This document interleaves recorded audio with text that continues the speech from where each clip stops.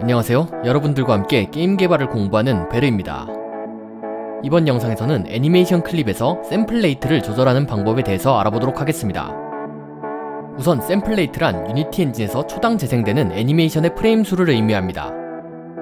이전에 올린 유니티 애니메이션의 기초에 대한 영상을 보신 분이라면 유니티에서 애니메이션을 사용하는 방법은 대표적으로 두 가지가 있다고 이야기한 것을 기억할 겁니다. 첫 번째는 3ds max나 마야, 블렌더와 같은 외부 프로그램에서 만든 애니메이션을 가져오는 것이고 두 번째는 유니티에서 직접 애니메이션 클립을 만드는 방법입니다. 첫 번째 방법에서 애니메이션의 sample rate는 유니티 자체에서는 수정할 수 없고 외부 프로그램에서 수정해서 가져와야 합니다. 하지만 두 번째 방법인 유니티 애니메이션 클립의 경우에는 유니티 에디터에서 초당 몇 프레임의 애니메이션이 재생되게 만들지 수정할 수 있습니다. 우선 유니티 2018을 포함한 이전 버전에서 작업하는 방법을 먼저 보겠습니다. 새 큐브 object를 하나 생성한 다음 컨트롤 6 단축키를 눌러서 애니메이션 view를 엽니다.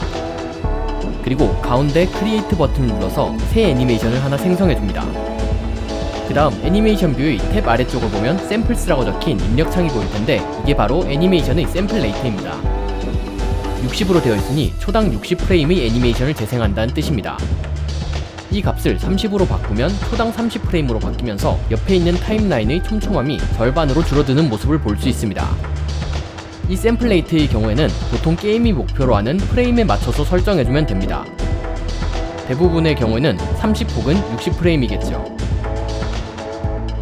그 다음은 유니티 2019를 포함한 이후 버전에서의 애니메이션 sample rate를 수정하는 방법입니다.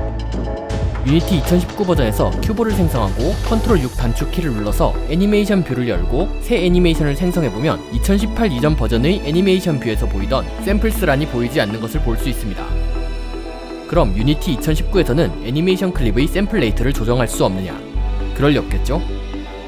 애니메이션 view의 닫기 버튼 아래에 있는 이 버튼을 눌러보면 Show sample rate 항목과 Set sample rate 항목이 보입니다. 우선 set sample rate 항목은 주로 사용되는 24, 25, 30, 50, 60 프레임을 바로 선택할 수 있는 기능입니다.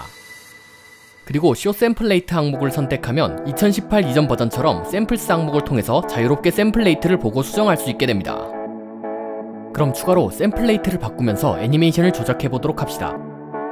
Add Property 버튼을 누르고 transform의 포지션을 선택합니다. 그리고 1초 동안 큐브의 X좌표를 10으로 이동시키는 애니메이션을 만듭니다.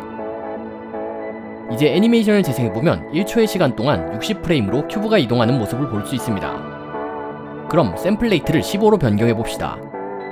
그러면 타임라인의 밀도가 4분의 1로 낮아지는데 1초에 잡아두었던 애니메이션의 키가 4초 지점으로 밀려난 것을 볼 수 있습니다. 유니티의 애니메이션 view에서 애니메이션 클립의 sample rate를 조절하면 이렇게 애니메이션의 키들이 늘어나거나 줄어든 sample rate에 비례해서 위치가 바뀌고 애니메이션의 길이도 길어지거나 짧아집니다. 이때 원래의 길이로 줄이려면 전체 키들을 선택하고 이렇게 줄여주면 됩니다. 그럼 sample rate가 15프레임이 된 애니메이션을 재생해봅시다. 정상적으로 재생되는 애니메이션을 볼 수 있습니다. 여기서 한 가지 sample rate가 줄어들었는데 왜 애니메이션이 끊어지지 않고 60프레임과 똑같이 재생되는지에 대한 의문점을 가질 수 있습니다.